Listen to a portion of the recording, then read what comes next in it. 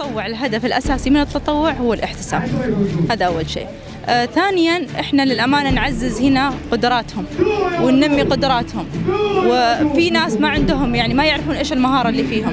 يستغلون أوقات الفراغ. سبحان الله الناس اللي ما تعرف إيش المهارة اللي فيها لما تجي تتطوع تعرف إيش المهارات اللي هي عندها المهارات المدفونة.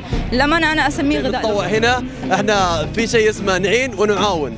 فاحنا نعين الناس ونعاون طاقم العمل برضو على فعل الخير والتنظيم وترتيب يعني نحاول ندير المكان ويطلع بأفضل وجه وأفضل صورة. نوري صورتنا المملكة العربية السعودية كيف إحنا نعين السياحة ونطور في سياحتنا هنا في المملكة العربية السعودية. هدفنا من تطوع خدمة للمجتمع، نحن من جمعية العمل التطوعي جينا نشارك في موسم الشرقية. والإقبال الكبير ما شاء الله على كورنيش الدمام والمهرجانات كامله للموسم الشرقية. وننتظر باقي الموسم نشوف الفعاليات إن شاء الله. كمتطوعين نبغى نثبت جهودنا وننظم المهرجان بحيث إنه تكون الفعاليات والمهرجان تنجح بأدق النجاح. يعني ما هو أي نجاح. إحنا نطمح دائما إلى أكثر النجاحات.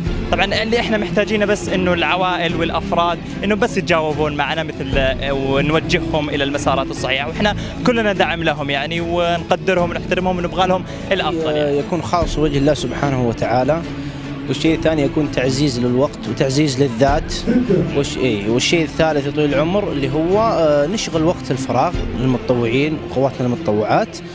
ويكون التنظيم هنا آه، للعوائل للعزاب وزي ما أنتم شايفين. وأشكر جميع الجهات المنظمة ويعطيكم ألف عافية والله. يعني راقب كذا إن نخلي المجتمع آه، فرحان ونقدم فعاليات أكثر. وإحنا طبعا مسويين أكثر من منطقة مو بس هنا بالدمام. وفي كل كورنيش في فعالية وكذا وكل ثلاث أيام في فعالية.